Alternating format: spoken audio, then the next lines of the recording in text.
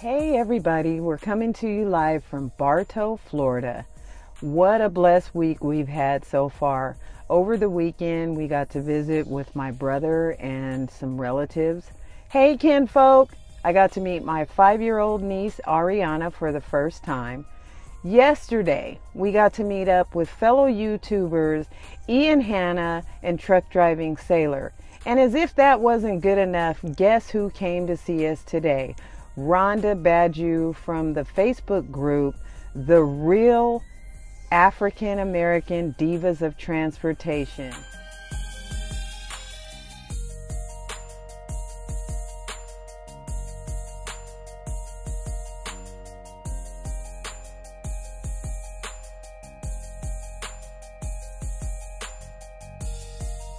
Ean Hannah. Oh my God, you guys.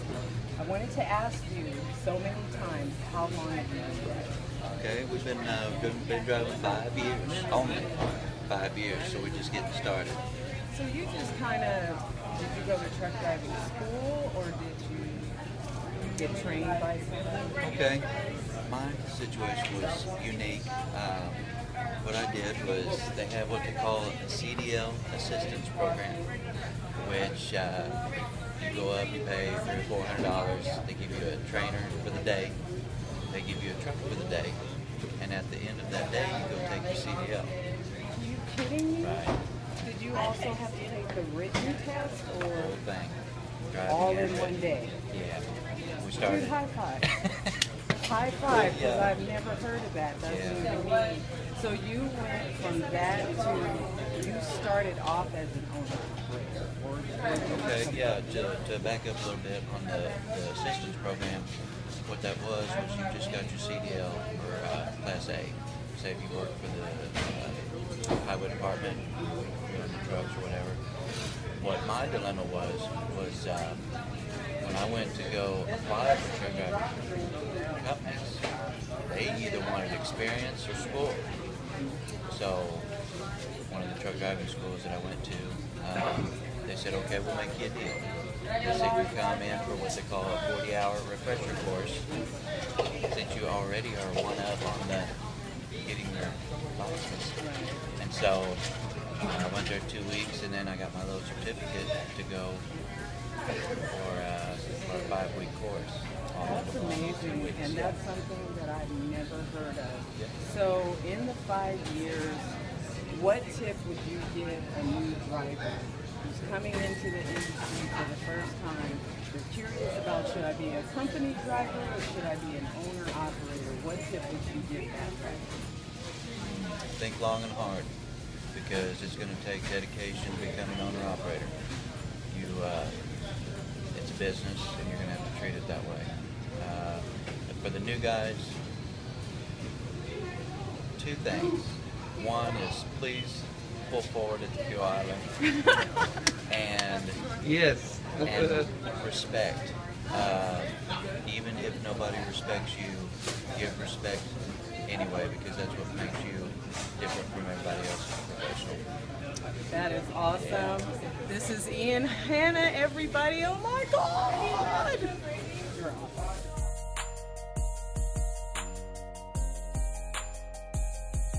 Everybody, I'm here with Truck Driving Sailor, and you are with what company? Werner Enterprises. And how long have you been with Werner?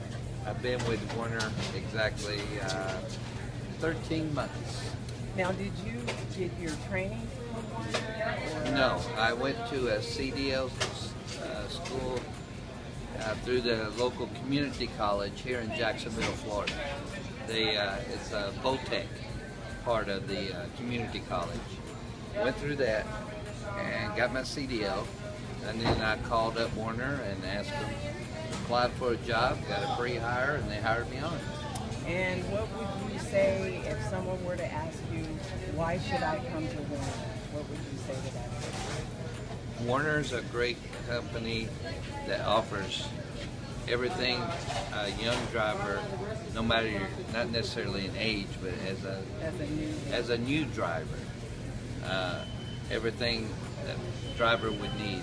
They have vast resources due to their size.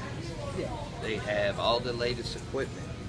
They have 24-hour communication, 24-hour assistance, breakdown.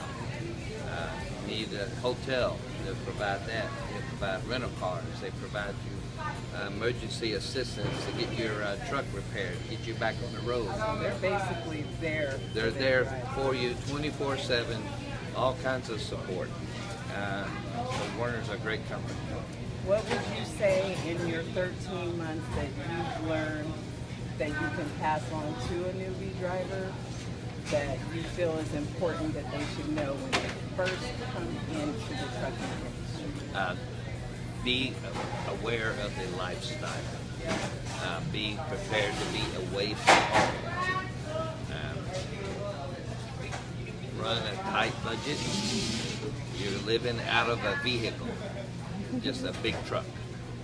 You're eating on the road. You're taking showers at truck stops. If you can survive being away from your family and friends, if you can be flexible and fluid in that and not mind sleeping in rest areas and truck stops, places you've never been before. If you can handle that, you can do, you can handle the job. The job itself is easy. Right. It's the lifestyle. If you can handle the lifestyle, you can do the job as a truck driver. You will, you're constantly learning. I am so proud of you. I've been watching you and Ean for quite some time now on YouTube, and honestly, when I came into OTR, it was all the other drivers on YouTube that gave me the inspiration. So thank you for your time. And That's Truck Driving Sailor right there. all right, go a Navy.